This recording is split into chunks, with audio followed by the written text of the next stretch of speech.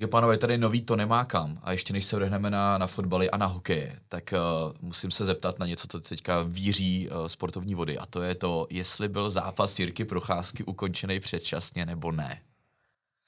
Roman měl dostat ještě vteřinku dvě, Jirka. No, určitě za mě eh, by tam měly dvě, tři rány ještě padnout. Eh, vypadal, že by se možná pod Pereirou otočil, takže za mě trošku, trošku brzo, ale když Jirka říká, že byl mimo, tak uh, asi je to správný rozhodnutí. Naprosto férový od Jirky a, a říkali jsme si, že rozhodčí musí, musí chránit zdraví hráčů primárně. No. Honzo, ty jsi to viděl. A... Já taky tak. Jirka, velký gentleman, pak po zápase to hned říkal, uh, přesně tak, jak by sportovec měl, nicméně jako fanoušek a jako velký příznivec uh, Jirky si myslím, že ještě chvilku uh, to mohl rozhodčí nechat. No, uvidíme. Uvidíme se teďka bude čekat Jirku, jaký zápasy, určitě to budeme sledovat a budeme se tomu samozřejmě věnovat, až to přijde. Ale teď, teď už jdeme na, na fotbaly a na hokej. Čau ahoj, tohle je další díl nového sáskarského podcastu. Nový díl, už stálého sáskarského podcastu Fortuny, to nemá kam. Uh, dneska s Romanem Kovaříkem, expertem Fortuny, čau. Ahoj. No a tradičně s plzeňským patriotem Honzou Pickou, čau. Čau. Díky. Já jsem Martin Dobrovodský, no a jdeme na to, uh, jak můžete vidět uh, tady z našeho aranžmá, v, ve studiu, tak uh, nás čeká repre pauza. Náš tým uh, Ačko bude hrát v Polsku a pak doma s Moldavskem. Zápasy, které rozhodnou o tom, jestli se podíváme na euro nebo ne. Uh, bude hrát ale jedna dváca. Uh, koukneme se na to, jak si stojí uh, jednotlivý týmy v NHL teďka. No a samozřejmě na závěr nás čeká už tradiční tiket na víkend. Uh, tak to vykopneme tím Ačkem? No, asi jo, asi je to to nejdůležitější, co nás čeká a uh, No. Jsem, jsem na to jako hodně, hodně zvědavý. Jako, když se podíváme eh, na nominaci, tak eh, tam jsou nějaké jako základní věci, které je potřeba zmínit. Bohužel i nadále bude chybět Patrik Šik, což mě nesmírně mrzí, protože právě on přinášel do toho týmu ten nadstandard v koncovce a, a ty jeho góly určitě eh, chybí. Uh, kauza Tonda Barák, tam se nic nezměnilo. Tam to vypadá, že dlouhodobě nevíme. Uh, je to možný, samozřejmě může dojít k výměně trenéra, takže tam je to, jsou to asi spojené nádoby, takže to je další oslabení. No a na brankářském postu chybí po delší době Jiří Pavlenka. Eh, na druhou stranu myslím si, že ty výkony, který v rámci kvalifikace předváděl, tak eh, nebyly nadstandardní a to v té kvalifikaci potřebuješ a hlavně před těma klíčovými zápasy, takže já vlastně uh, s brankářským postem, kde je tam trojice, Mandou, Staněk hmm. a Kovář, jsem, jsem spokojený. Jak to vidíš, kdo bude chytat?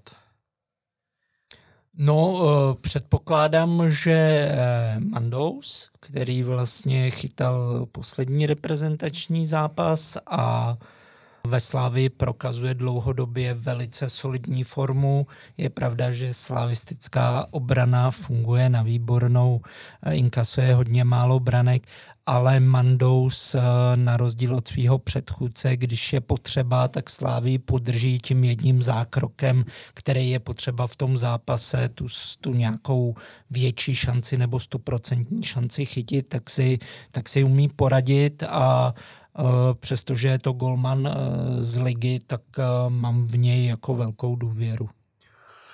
Honzo, tyhle ty absence, ještě, ještě jsme možná vynechali Láďu Krejčího, který taky laboruje se zraděním, který taky nebude, který vlastně v těch posledních zápasech uh, byl stálicí, stálicí toho týmu. Kdo, kdo myslí, že nejvíc bude chybět tady z těch, z těch absentérů?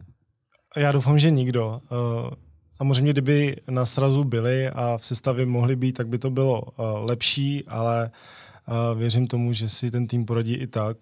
Říkali jsme to nedávno když Krejčí chyběl Spartě, že tam ho nahradili, myslím si, že se to povede i v reprezentaci a věřím tomu, že ten tým se skládá tak, aby ty absence nebyly vidět. Možná trochu překopí mě i v repre trošku třeba chybí Jankto, který poslední zápasy hrál a byl i produktivní hmm. za Kaliáry. Po se vrátil i do základní sestavy, takže třeba toho hráče bych tam viděl, ale známe a trenérský štáb, který sází na ty osvědčený jména, takže překvapení to není, ale trošku mi tam možná chybí tenhle hráč. Sází na osvědčený jména, ale přesto jsou tam dva nováčci. Uh, Tomáš Chorý a Vasil Kušej jo. z Mladý Boleslavy. Tak uh, hlavně Chorýmu ty asi máš co říct. Uh, je, to, je to hráč z, z tvýho týmu. Tak uh, myslíš, že, že se prosadí uh, v repre? Že bude vůbec hrát třeba, třeba v základu? Nebo, nebo jak, jak by to mohl naskočit? Co myslíš? Uh, myslím si, že tahle nominace překvapila všechny a hlavně ty hejtry, kteří nemají uh, Tomáše rádi. Uh, I v Plzni si jako vyslechne hodně, ale jako hráč je to strašně platný. Uh, umí udržet míč, vydrží prakticky celý zápas fyzicky, zdatně. Umí si udělat prostor kolem sebe? Umí si udělat výborně prostor a i čistě. A pro obranu a soupeře je to vždycky strašně nepříjemný hráč, který ho prostě nechceš mít před sebou, za sebou, svádět s ním ty souboje. takže si myslím, že do hry by se mohl dostat, hmm. jinak by asi v nominaci ani nebyl. Protože myslím si, že se tam bude jako bourat i v Polsku, i s Moldavskem. A takovýhle hráč tam přesně vsedne do toho stylu, podle mě. A k němu, už jsme se bavili o, i o Kušejovi, tak to je přesně ten hráč, který mu by mohl uh, chodit dělat prostor a Kušej mm. by to tam mohl uh, rozvířit svou rychlostí a drzostí a energií. K tomu určitě víc řekne Roman taky. No, Romane, Chorý Kušej, dva nováčci v repre. Já jsem, já jsem spokojený, já jsem teda oba dva jako v nominaci přivítal. Uh, Patrně to nebude na základ minimálně, minimálně ne v Polsku, ale samozřejmě, když máš hráče, který má dva metry, eh, potřebuješ eh, třeba vyrovnat do tlaku v závěrečných minutách, tak eh, do toho Vápna je neuvěřitelný, patří mezi nejlepší hlavičkáře v rámci Fortuna ligy. Teďka měl produktivitu, je schopný proměnit jak penaltu, tak právě v hlavičkách hračkách je jako skvělej. A Vasil Kušej to, to samý eh, obrovská dynamika, eh, kdy prostě přijdeš na, do zápasu v průběhu utkání, najednou si uh, živej, rychlej, dravej, uh, přestože je trošku, trošku nižší postavy, tak se nevyhýbá soubojům, což je samozřejmě obrovský pozitivum a v posledních zápasech zase najel na tu svoji gólovou vlnu, rozhodl poslední ligový zápas, dal gol Spartě nádherný, takže ta produktivita tam je u obou hráčů a trenér povolal na základě formy, což mi přijde eh, strašně, strašně dobře a myslím si, že opravdu 20 minut v utkání můžou oba dva dostat a a jsem, jsem, jsem za to rád. Myslím hmm. si, že oba dva jsou na tu reprezentaci připravený. Dopolá, dopovolávací rozkaz dostali ještě zima s Čvančarou. Tak uh, jak myslíš tyhle ty dva hráči, že zapadnou do toho, do toho uh, tak, tý, týmu zpětně a budou hrát vůbec? Tak Čvančara, uh, měl jsem možnost vidět v pátek jeho zápas uh, za Mönchengladbach, kde skóroval.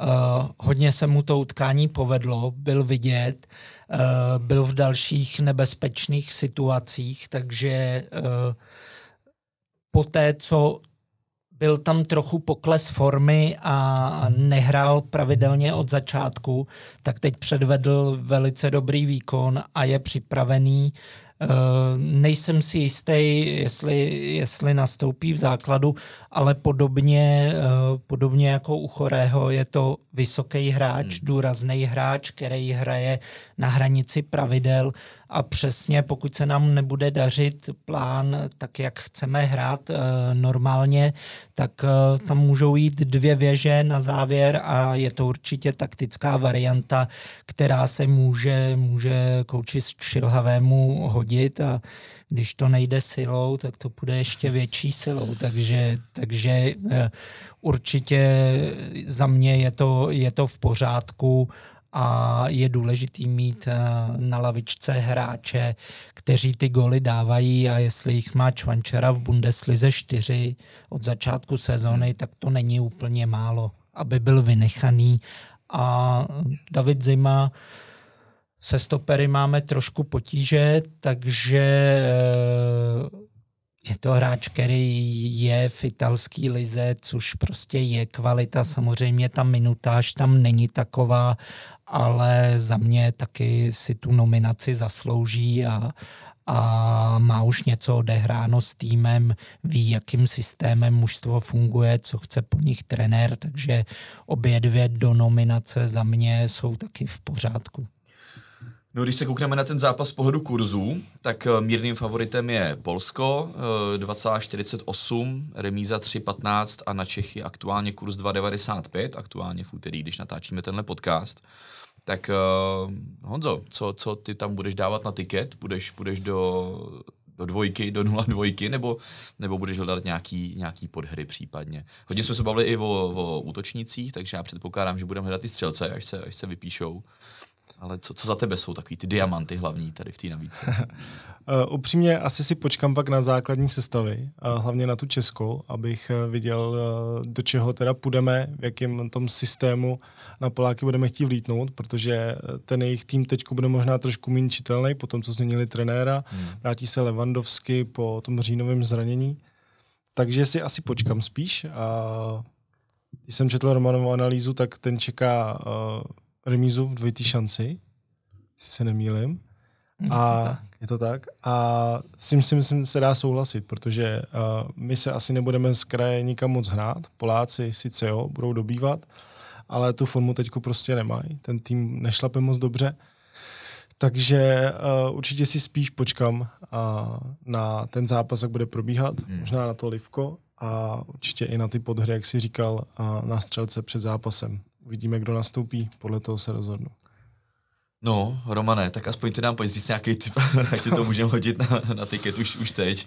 No, uh, já jako uh, samozřejmě uh, respektuju sílu Poláků, zejména doma ve Varšavě, kde bude uh, až fanatická atmosféra. Poláci patří mezi nejlepší fanoušky v Evropě. Eh, zároveň mezi nejhorší do, jistý, do jisté míry, ale eh, opravdu eh, ta atmosféra bude velká. Poláci budou mít Levandovského, to je velký rozdíl s ním a bez něj. To bylo vidět i v posledním utkání, kdy doma ztratili body s Moldavskem právě, kdy Levandovský nehrál. Taky domácí tým uh, není kompletní, byly tam změny v nominaci, teďka vlastně vypadly tři hráči, který, který tam chtěl trenér mít. Uh, největší absence asi Matty Cash z Aston Villa, která letos uh, v Anglii šlape, hraje, hraje hezký ofenzivní fotbal. Uh, chyběli, chyběli mi tam i, i další hráči, zejména v útoku. Eh, Piatek a podobně, útočníci, který každopádně umějí dávat goly, ale v poslední době neměli taky formu, takže eh, tam je to víc čitelnější, že se bude hrát jednoznačně na Levandovského. Hmm. Takže sílu, sílu určitě doma mají. Na druhou stranu ten tým je pod tlakem. Je pod velkým tlakem. Víme, že musí porazit český tým a musí doufat, že zároveň český tým klopítne doma s Moldavskem, aby měli šanci umístit se na prvních dvou příčkách, což je velká nepříjemnost. Když si pamatujeme eh, zápas, který se hrál eh, v Edenu ve Fortuna aréně, tak uh, tam jsme vyhráli 3-1. A na Poláky jsme vlítli, zaskočili jsme jen brzkým gólem a já si myslím, že možná, možná se pokusíme o něco podobného, že se pokusíme nastoupit do těch prvních pěti minut, deseti hmm. A pak samozřejmě se zatáhneme a budeme hrát víc na breaky. Podle toho by měla odpovídat asi i ta sestava, takže možná ty vyšší hráči tam přijdou až to v průběhu toho utkání. Uh, a tudíž by mohl dostat třeba uh, šanci hložek, i když i ta jeho minutáž není taková, ale zase daří se jiným hráčům. Tomáš Souček teď zazdával vítězný gol, uh, Kuba Brabec uh, vlastně byla na něj penalta, takže jsou hráči, kteří mají dobrou formu a celkově právě ten tlak, který, pod kterým Poláci budou, a to souvisí i s těma fanouškama. Pokud se jim nebude dařit dlouhodobě dát gól, hmm. může se začít pískat, sami hráči znervózní, protože musí, opravdu nejsou v jednoduché situaci, takže já osobně si zahraju uh, remízu, kurz 3.15 ale chápu ty rizika toho zápasu a proto jako doporučení do analýzy pro klienty, tak jsem dával tu mírnější variantu remíza o půli nebo na konci, na konci utkání, kde ta pravděpodobnost je samozřejmě o poznání vyšší, ale mně osobně to vychází jako na remízový zápas a rozhodnout budeme muset až proti Moldavsku. Uvidíme hodně gólů v tomhle zápase? Poláci musí, budou se, budou se samozřejmě tlačit dopředu. Uvidíme, Roman říkal, že zkusíme na ně vlítnout hnedka v prvních pěti, deseti minutách, jestli, jestli se tam prosadíme. Já to vidím tak, že bychom mohli nějaký goly vidět. Levandovsky se vrací, už jsme o tom mluvili. Uh, nový posly do útoku u nás, pokud se dostanou do hry, budou chtít určitě dát gol, budou se chtít prosadit. Možná tam budeme dát na ty dvě velké věže vepředu potom. Já to vidím tak, že dva, tři góly bychom v tom zápase vidět mohli úplně v pohodě. Já osobně si myslím, že tak ty dva maximálně. Jo? jo. No, jeden na každé straně, třeba, mm-hmm. protože a, naši útočníci, jak jsme říkali, jsou sice hodně variabilní, máme tam různý typy, který, který umí hrát jako ze, z každé pozice, každý jinak, ale někteří tu formu takovou nemají, ani tu minutáž, a kromě kluků z Fortuna Ligy, o kterých jsme se bavili. A na druhé straně a, vidím, vidím hlavně jako Levandovského, nebo jedinýho, kdo by mohl ohrozit naši bránu, protože si myslím, že se přesně jako pak zatáhneme a ten prostor Polákům nedáme. Takže já doufám, doufám, že goly budou a myslím si, že maximálně dva po jedním na každé straně. No, Romane, bez golový to nebude snad, ne? No, uh, asi ne, jako uh, záleží samozřejmě na scénáři toho utkání. Já si myslím, že správný by bylo samozřejmě na, na Poláky nastoupit, zaskočit je a opravdu následovat ten scénář toho prvního utkání. Ale do hlavy trenéra nevidíme. Může přesně začít bránit od začátku s tím, že řekne opravdu budeme hrát na breaky, nebudeme presovat, pokusíme se znervoznit tím, že dlouho ne, neinkasujeme, postavíme velký blok v, prostě v devíti lidech, vepředu bude jeden hráč. Eh, je to taky možnost. Každopádně s přibývajícíma minutama se ta hra bude muset otevřít a bude se muset uh, otevřít buď ze strany Polska, anebo pokud inkasujeme, tak samozřejmě se budeme my snažit tu ztrátu dohnat a pak je to o tom, že my můžeme dát gól, nebo uděláme chybu vzadu a může padnout další gól. Takže pokud bych měl vybrat nějakou sázku na góly, tak si myslím, že v druhém polčase padne více branek hmm. než, než v tom prvním polčase, že opravdu tam už to bude nějak vyvrbený. Taky může nastat, že v prvním polčase padnou tři góly a bude hotovo, jo? ale to nepředpokládám. Ta důležitost toho utkání pro oba celky je veliká. Polsko musí a my můžeme. My jako nebudeme chtít hrát na remízu taky, protože víme, že výhra v Polsku a máme hotovo, takže pokud tu příležitost ucítíme, tak určitě do toho půjdeme a právě i ty střídání v druhé půli to můžou hezky rozhýbat nebo přinést tu změnu taktiky. No, tak to z toho mi vychází, že pokud nepadne nějaký rychlej gól a bude to, bude to delší čas 0-0, a pak nějaký padne, tak pak bys to mohlo otevřít a pak by mohli jsme vidět další, další góly, takže možná přikládat padne další gól potom. V, v té druhé půli by to podle mě dávalo asi větší, větší smysl.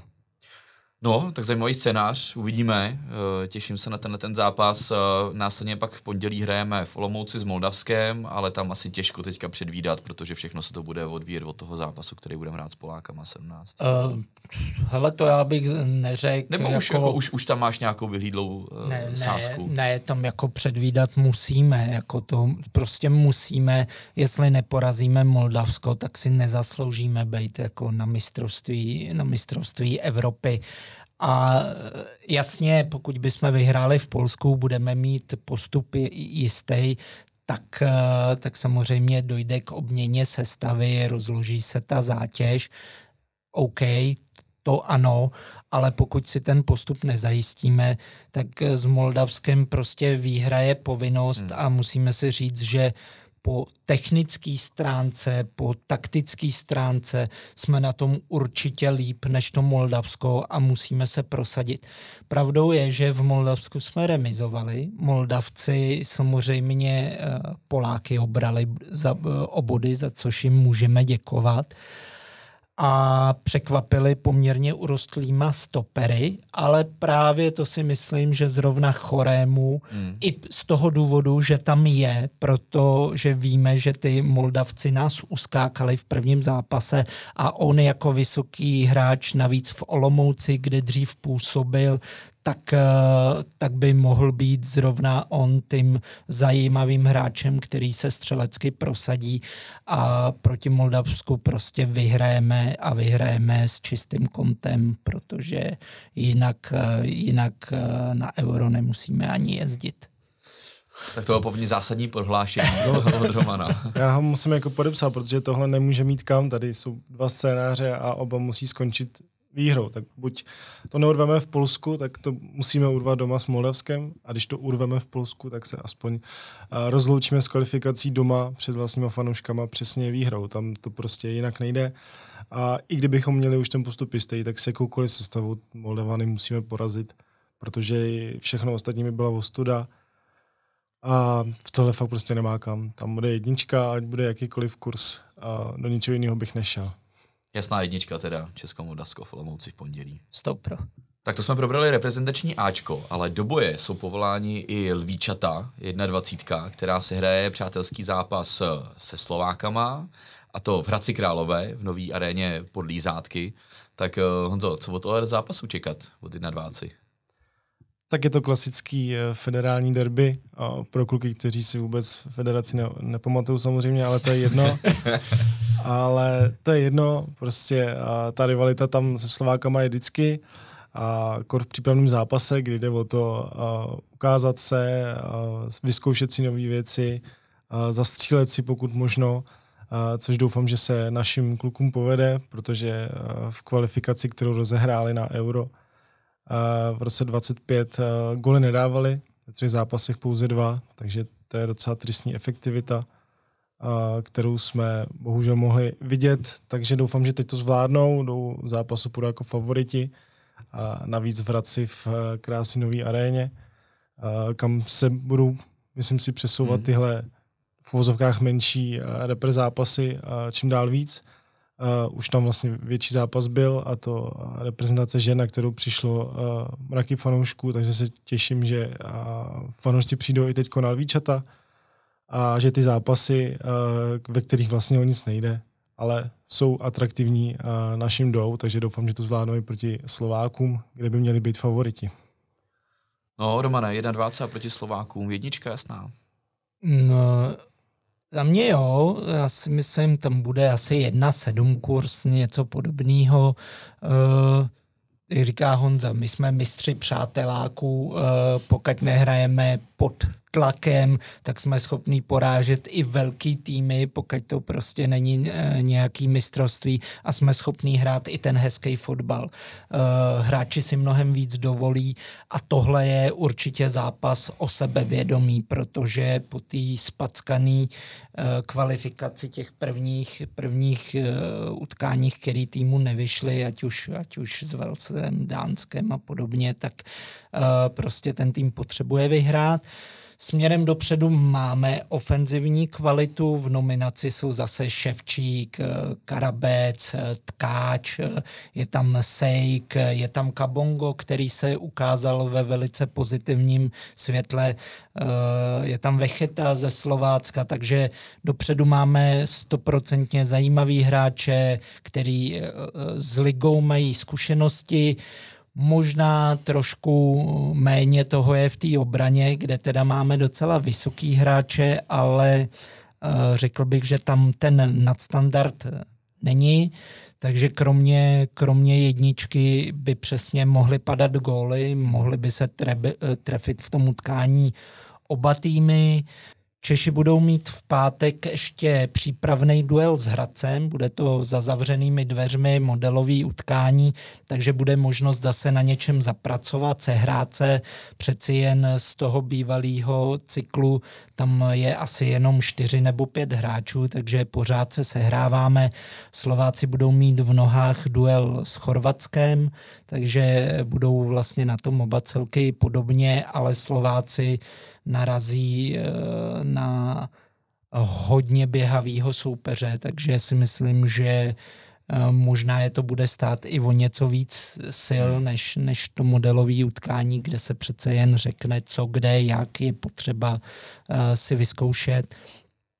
Takže jednička a myslím si, že aspoň tři góly v tom utkání, z toho by se mohly oba týmy trefit a Uh, určitě to bude takový hezký předkrm před tím, uh, před tím Moldavském uh, v pondělí. Pěkný, tak to vypadá na, na zajímavý zápas, federální derbíčko, který by mohlo být atraktivní a, a mohli bychom dělat nějaký pěkný góly. Jo a, a, a ještě jen přesně doufám, že přijde těch 6-7 tisíc a pokud je atmosféra, tak to ty hráče samozřejmě vyhecuje, tlačí.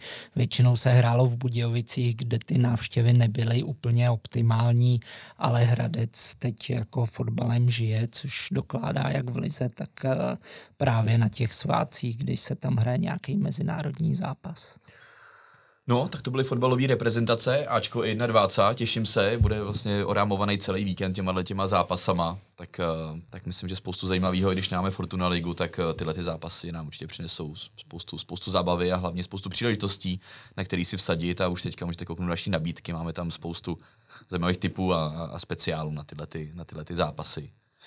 My se ještě rychlosti vrhneme na NHL. Říkali jsme si, že si uděláme takový lehký průlet toho, co se vlastně v NHL teďka děje. Já jsem koukal, že vlastně západu vévodí uh, Vegas Golden Knights, zatímco, zatímco na východě vládnou bostonští medvědi tak uh, kluci, jste nažvejklí na NHL, tak, uh, tak uh, letem světem, co teďka, co teďka sledovat v NHL nejvíc? Co je zajímavý? Rozhodně ten Boston, před pár týdny jsme tady trošku uh, neodepsali, ale úplně jsme jim nevěřili. V naší epizodě to nemá kam, ale ukazují, že ten tým má tu vítěznou mentalitu pořád v sobě i po odchodech a koncích důležitých hráčů. Pasta řádí dál, jak jsme zvyklí, takže na to se krásně kouká. Naproti tomu já jsem tady věřil Edmontonu, který se bohužel trápí, nebo bohužel pro mě, ta moje prognoza mi úplně nevyšla, odvolali trenéra, a ti hráči jsou zabržení, to je prostě vidět a uvidíme, jestli je nový lodivod trošku odbrzdí.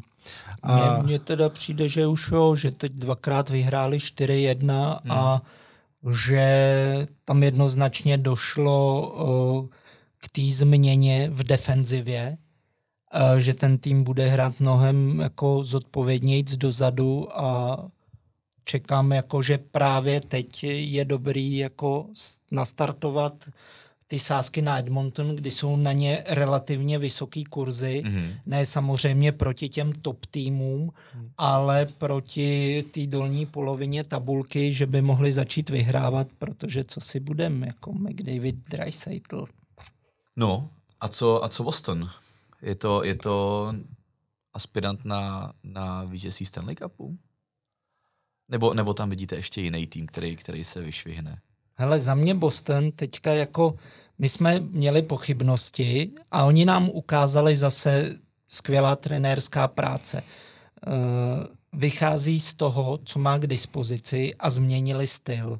Boston v minulým v minulý sezóně řádil v ofenzivě a, a měl neuvěřitelné přesilovky. A teď uh, má prostě jiný hráče, mm-hmm.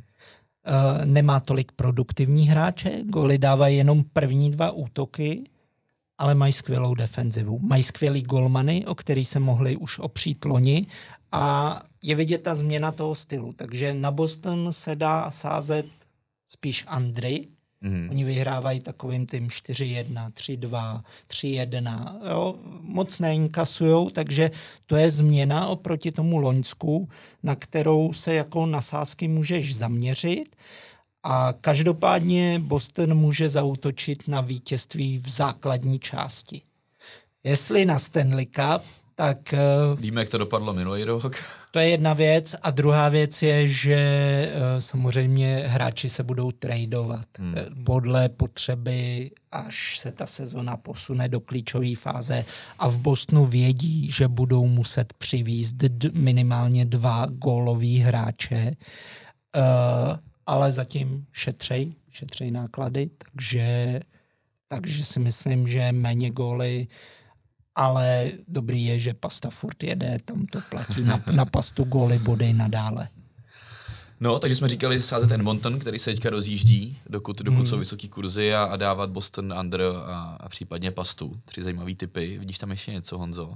No, rozhodně Vancouver, který je pro mě strašně překvapení, nebo Uh, neměl jsem o tomhle týmu úplně takový povědomí před sezónou, ale velmi milé mě překvapili a aktuálně, když natáčíme, tak mají nejvíc výher v základní hrací době z celé ligy a útočí uh, na Vegas jako na nejlepší tým momentálně.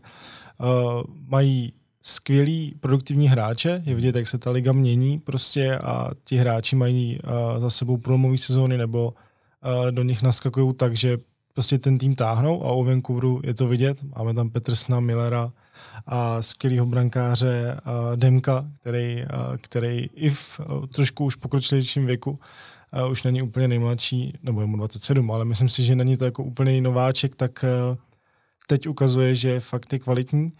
Plus ještě Filip Hronek, který patří mezi nejlepší nahrávače celý soutěže, bodoval už desetkrát za sebou, což je podle mě fantastická série. Takže tým, na který se skvěle kouká a myslím si, že na tikety taky patří. Ale je to hlavně o tom, že prostě ten hokej se musí sledovat a podle aktuální formy Vancouver ji teď má. Dá se říct, že San Jose absolutně nemá, což jsme hmm. předpokládali, takže sázet proti San, San Jose, ale jak říkám, pořád tu ligu sledovat, sledovat hráče, sledovat výsledky, přesilovky, jak se komu daří, proti komu hraje a pak se to sází na radost. No mně obecně přijde teda, že trošku jsme hanili v minulosti ten západ, ale přijde mi, že ten západ se letos výrazně zkvalitnil. Hmm. Vždycky se mluvilo o tom, jak je východ nabitej, ale vidíme, jaký problémy má Pittsburgh, jaký Washington a podobně.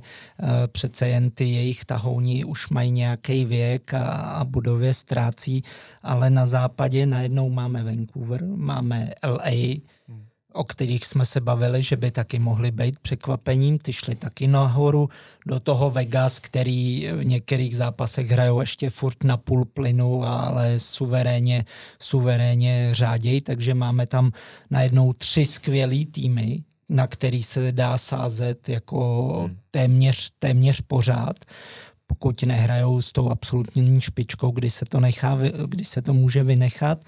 No a pak samozřejmě bodíky střelci, koukal jsem 40 hráčů v NHL aktuálně je nad kanadským bodem nad zápas, což je poměrně vysoký číslo. A zrovna tady je potřeba si vybrat prostě hráče, který nějaký méně známý jména z, nebo který v předešlých sezonách neudělali takový tolik bodů, ale třeba Frank Quatrano z Anheimu má 11 gólů a vypadá to na průlomovou sezónu. Brock Boozer z Vancouveru, taky další hráč, který uh, rok od roku se zvedá. Uh, Hughes v New Jersey neuvěřitelný, bohužel se zranil, takže je tam spoustu, spoustu zajímavých men, který se, který se dají hrát, včetně Filipa Hronka 0 plus 16. Hmm. Myslím si, že už se blíží okamžik, kdy dá i ten gol, takže tam, tam se dá na to cílit. Radko Gudas má dva góly oproti Filipu Hronkovi, to jen bych chtěl předeslat, takže Filip Hronek určitě je hráč, který góly umí dávat, takže kromě těch asistencí začne, začne, začne i střílet a to jsou asi jako nějak v kostce typy, co se dá teďka hrát na NHL. Tak já si myslím, že to tak, tak jako líznem tady tu NHL jenom jako letem světem a vy jste mi tady vystřelili třeba 10 typů, co sledovat a na co sázet teďka, jako, včetně, včetně týmů, včetně hráčů. Tak, eh. tak každý sází něco jiného, tak jsme chtěli, chtěli dát každému to svý, no. aby si tam ne, jako skvělý, něco zaš, skvělý. zašmrdlat. Od toho jsme tu. Ne, paráda, já jsem úplně, já nejsem a zase až takový sledovatel NHL, ale teďka tady mám jako na jednou v hlavě 4-5 věcí, které si dám hnedka na ty příští zápasy, takže za, za to velký dík, pánové. No a my, než se vrhneme na závěrečný segment Ticket na víkend, tak já ještě chci poděkovat za veškerý zpětný vazby, který nám dáváte. Samozřejmě nás odebírejte, sledujte na YouTube, na ve všech podcastových aplikacích.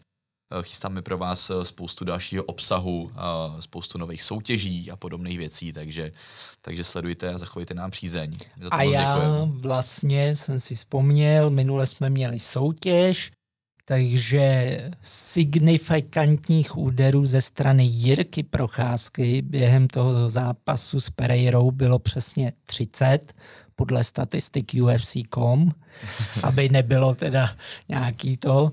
No a uh, jsou tam nějaký dva lidi, kteří typovali tuším 32, 33, takže jsou, jsou nejblíž a ty pak nějakým... Tak my jim tam, my jim tam napíšem instrukce, co, co dělat a, a dostanou od nás podepsaný triko od, od Jirky. Jo. No a jdem na to. Tiket na víkend, uh, tak začínáme už klasicky, klasicky od tebe, Honzo. Co jsi tam připravil?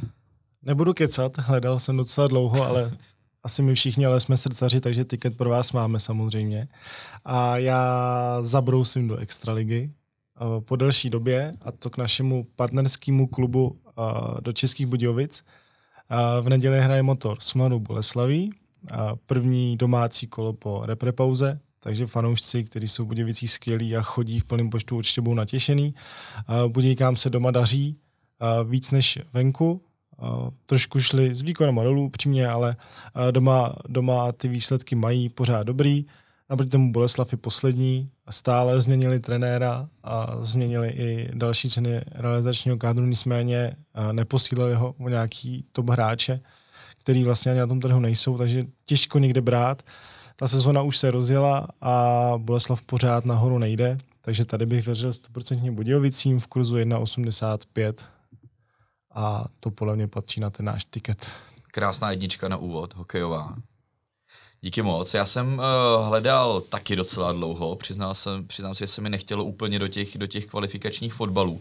A já jsem nakonec zabrousil do uh, amerického fotbalu, do NFL, kde se bude hrát uh, skvělý zápas, a sice Kansas Philadelphia. Je to zápas týmů, který vévodí svým konferencím, uh, vlastně Kansas AFC a, a Philadelphia uh, NFC. Uh, Kansas má aktuálně sedm výher, dvě porážky, Philadelphia osm výher a jednu porážku a je to hodně vyrovnaný zápas, i co se týče kurzu. Kansas je favoritem 1,71, Philadelphia 2,31. Já tam budu dávat Kansas, i protože hraje doma. Uh, Patrick Mahomes je za mě uh, prostě nejlepší quarterback aktuálně v NFL.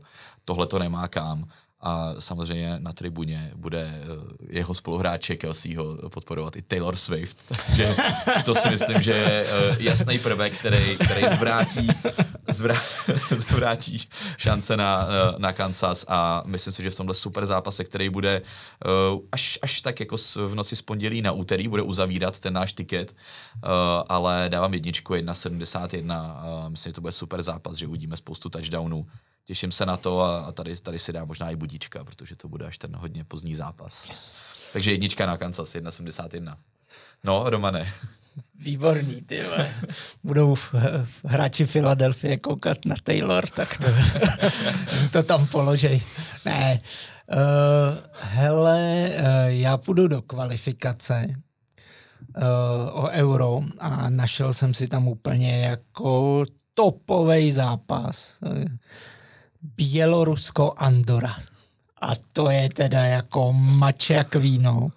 Nicméně uh, Bělorusko uh, za mě uh, v posledních zápasech se zvedlo. Uh, mělo tam dost remíz. Úplně v posledním utkání překvapili uh, ve Švýcarsku, kde dlouho vedli 3-1 a jen dva slepený góly v podstatě v samotném závěru je připravili o cený vítězství. Eh, Bělorusové dokázali porazit i Kosovo, eh, měli tam remízy s dalšíma silnýma soupeřema ve své skupině, jako je Rumunsko. Takže tentokrát si myslím proti Andoře, což je furt uh, při vší úctě takový fotbalový trpaslíček, který inkasuje spoustu gólů, málo jich střílí, tak vyhrajou. Uh, zápas se hraje teda na neutrální půdě v Maďarsku ale uh, jednoznačně ta fotbalová kvalita Bělorusů, uh, silovost, taktika, defenzíva jsou lepší a sice nejmenší kurz, ale potřebuju se chytit, takže 1,59 za mě. Je to jistotka. No, máme, máme trošku nižší kurz, zůstáváme při zemi tento týden 5.03 celkovej, tak já myslím, že za Kiliana to tam pošlem a zase vám ho nahrajeme do inspirace, takže si ho můžete, můžete skopírovat a, a věřím, že to dopadne, že to nemá kam. Tak jo, pánové, díky moc. Tohle byl díl, kde jsme se věnovali fotbalový repre, nakoukli, nakoukli jsme i do NHL, sestavili jsme si tiket, kam jsme hodili, hodili hned několik sportů. Já myslím, že jsme to probrali uh, pořádně. A příští týden po repre pauze vrátí se Fortuna Liga, budeme mít zase spoustu témat, o kterých mluvit. Tak jo, díky moc. Dneska tady byl Roman Kovařík, expert Fortuny. Ahoj, díky a sázejte podle sebe, podle svý hlavy. Byl tady taky Honza Picka, díky Honzo. Díky a hodně štěstí, čau. Já jsem Martin Dobrovodský, no ať se zelená a zase za týden, čau. Účast osob mladších 18 let na hazardní hře je zakázána. Ministerstvo financí varuje. Účastí na hazardní hře může vzniknout závislost.